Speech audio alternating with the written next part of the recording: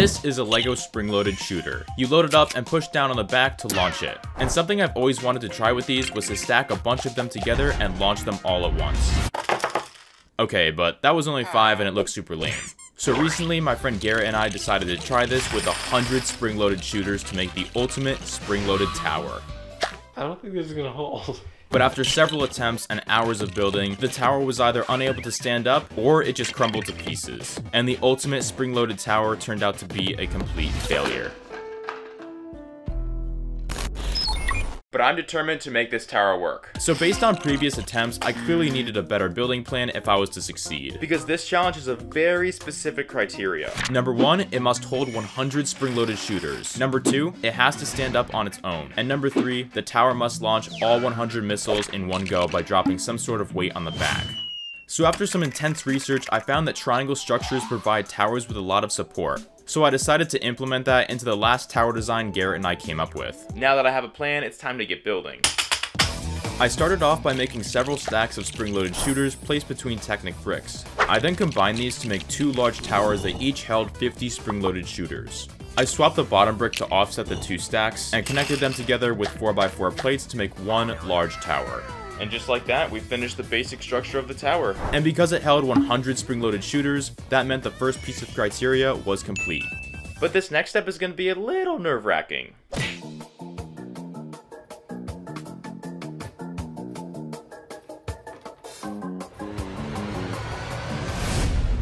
Okay, the tower was technically able to stand, but it was so wobbly. I'm not even gonna breathe on it. But this is where my research from earlier would pay off. Now I'm gonna use these beams to make a triangle-like support for this tower.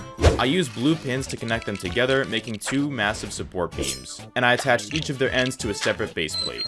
However, I still needed a way to attach them to the tower. Fortunately, I planned ahead for this. The reason I used 4x4 plates to hold the tower together was so I could use the protruding studs to attach these Technic bricks to either side. I followed that up by attaching these connectors that would hold the supports at an angle. That already feels more stable. However, the base plates attached to the support beams kept shifting around, not to mention... It's still quite wobbly down here. So I connected the base plates together to keep them from shifting, and added not one, but two additional points of support to stabilize the middle of the tower. Alright, I think it's done. And just like that, the second piece of criteria was met. This tower stood over 3 feet tall, held 100 spring-loaded shooters, and was reinforced with a triangular support structure. Yeah, it's not going anywhere. And for good measure, I gave the tower an operator. All that was left to do was fire all the missiles in one go, and the challenge would be complete. I'm gonna be dropping this five pound dumbbell behind the tower to fire them off. Should be heavy enough. Let's do it. Three, two, one.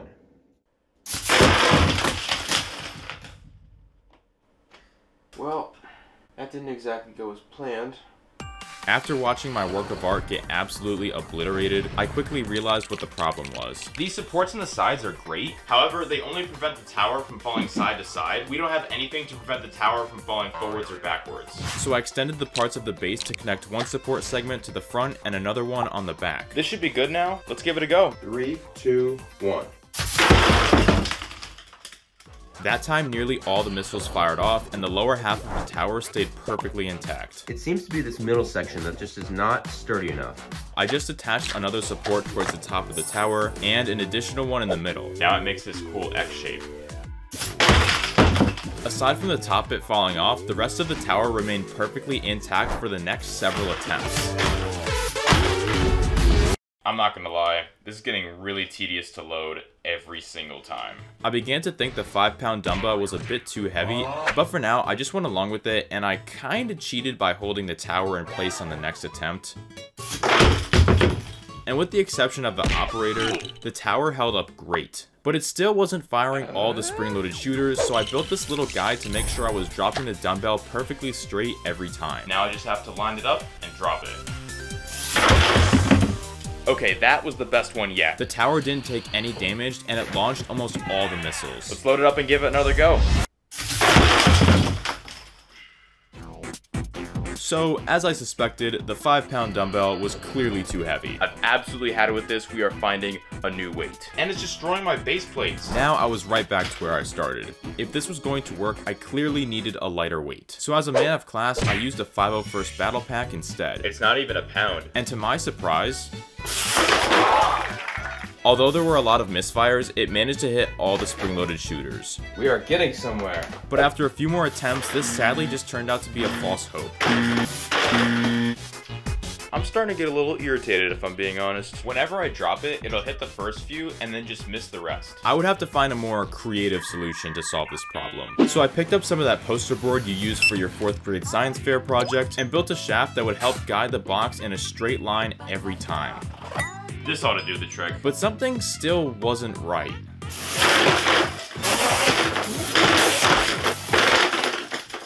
Wow, it didn't even make it halfway that time. I tried making the box lighter by dumping out all the parts, and I finally had a breakthrough. Three, two, one. Oh, that was so close. There were only two misfires and a few left on the very bottom. And as for the following attempt, I think the tower was just taunting me at this point. Bro. Just two left. Why? What are you? Oh my goodness. Okay, I'm starting to notice a pattern here. Every time I've lightened the weight, we get closer to launching all the missiles. So I cut down the box to make it even lighter.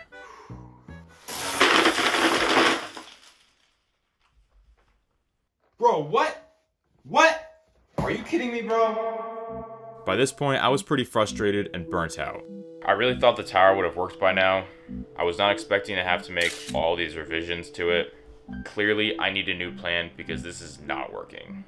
I especially needed a solution to prevent those pesky misfires. And looking back on all the previous attempts, I slowly began to realize what was causing them.